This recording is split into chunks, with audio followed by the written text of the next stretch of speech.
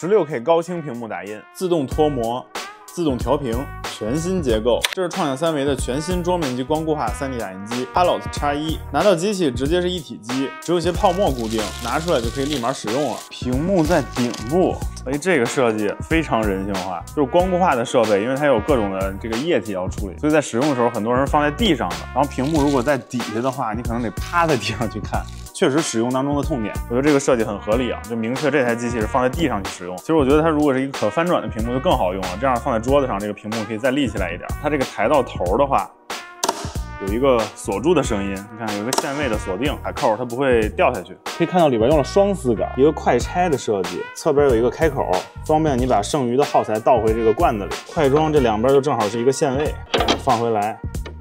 左边、右边一卡就 OK 了，而且这个设计还有一个好处，就是如果你开着的话，这样盖子肯定是盖不上的嘛，很好的避免了有时候你洗完料槽放回来没有拧两边螺丝，导致你打印的时候把这个底下的料槽给扯起来，然后打印失败，也算是一个很有效的防呆设计。成型平台感觉不太一样啊，它是可动的哦哦，你看这个上边，然后拧动两边，它就可以。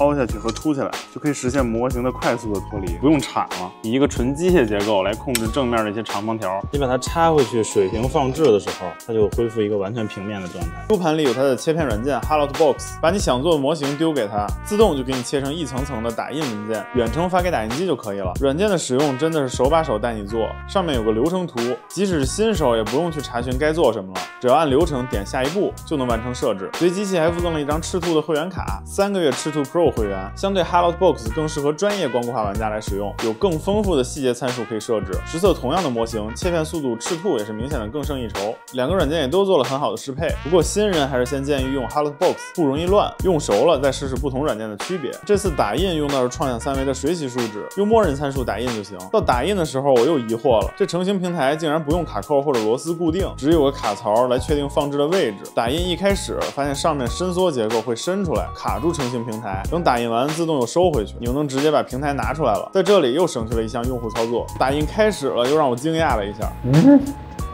料槽升起来了。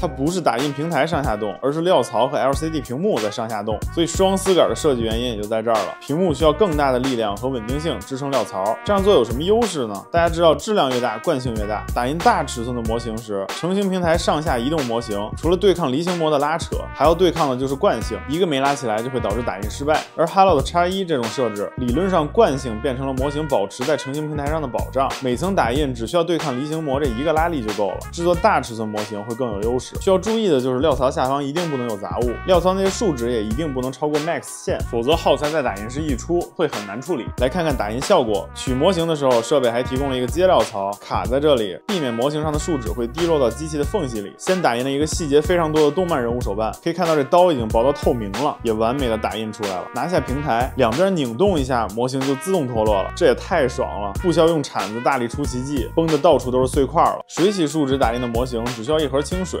模型。放在里面反复的涮洗一下就 OK 了，表面的水渍记得擦一下，避免二次固化的时候影响表面效果。二次固化完给它涂上颜色，角色的底座没有人物这么多细节，直接用 High Combo 打了一个，组合上看看效果。